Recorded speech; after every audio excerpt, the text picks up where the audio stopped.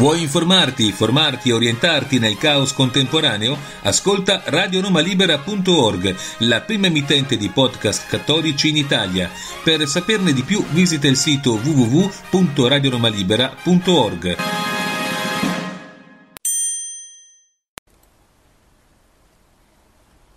Santa Caterina 1347-1378 con un gruppo di discepoli e discepoli che l'avevano seguita, giunse a Roma il 28 novembre 1378 per ordine di Papa Urbano VI.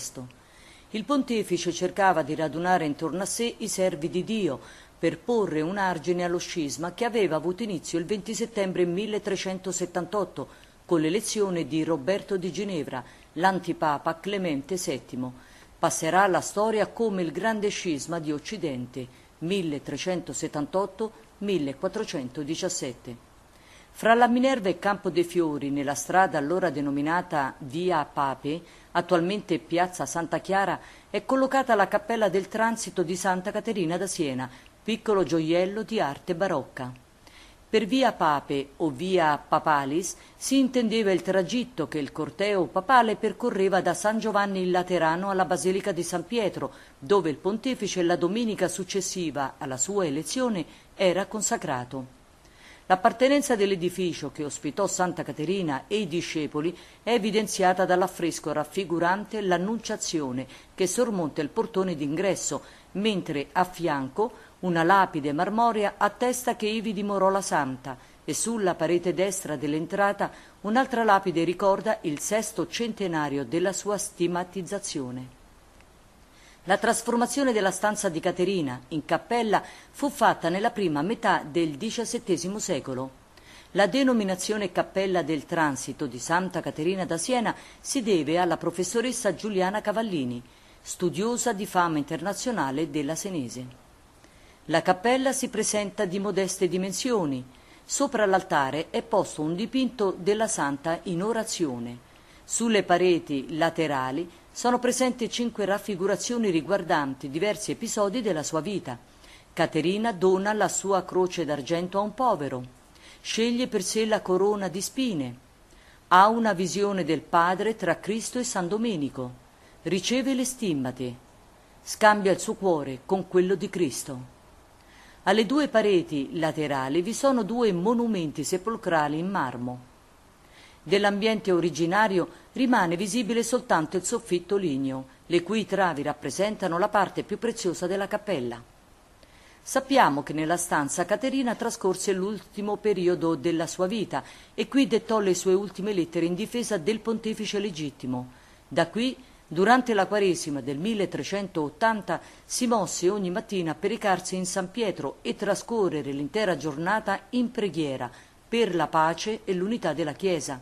E chi l'avesse vista andare avrebbe potuto credere di vedere camminare una morta, tanto era sfinita, come ella stessa attesta in una sua lettera al suo biografo e figlio spirituale, il beato Raimondo da Capua. Lettera 373. Qui ancora, il 29 aprile 1380, aveva termine la lunga sofferenza di Caterina, il suo martirio per la Chiesa divisa dallo scisma.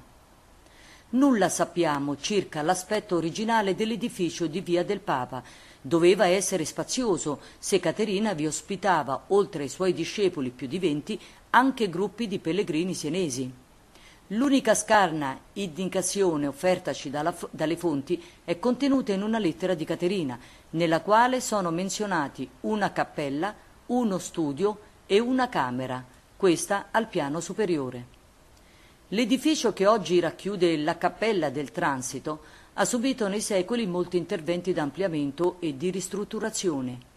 I più importanti avvennero nel 1638 epoca in cui lo stabile era proprietà dell'Arciconfraternita della Santissima Annunziata. I lavori si resero necessari a seguito della traslazione delle mura e dei mattoni dell'impiantito, nonché dal distacco degli affreschi quattrocenteschi che ne decoravano le pareti. Questi furono divisi, insieme al resto, tra la chiesa di Santa Maria sopra Minerva e il monastero di Santa Caterina e Magnanapoli. L'iniziativa dello spoglio e del trasporto è da ricondurre al cardinale Antonio Barberini, fratello del pontefice Urbano VIII. Trovandosi completamente disadorna, la cappella dovette subire un radicale intervento di ristrutturazione e decorazione che fu affidato al cavalier d'Arpino. Infine, nel 1989, l'ultimo mercoledì di giugno, la cappella fu trovata invasa dall'acqua e nel 1993 iniziò il primo e più urgente intervento di deumidificazione. I lavori di ristrutturazione e restauro dei dipinti e degli stucchi terminarono il 18 ottobre 2000, giorno in cui a cura del dottor Giuseppe Di Paola venne inaugurata la Cappella del Transito.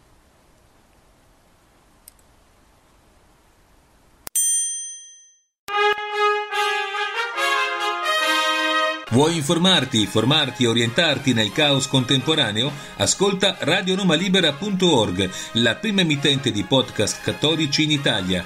Per saperne di più visita il sito www.radionomalibera.org.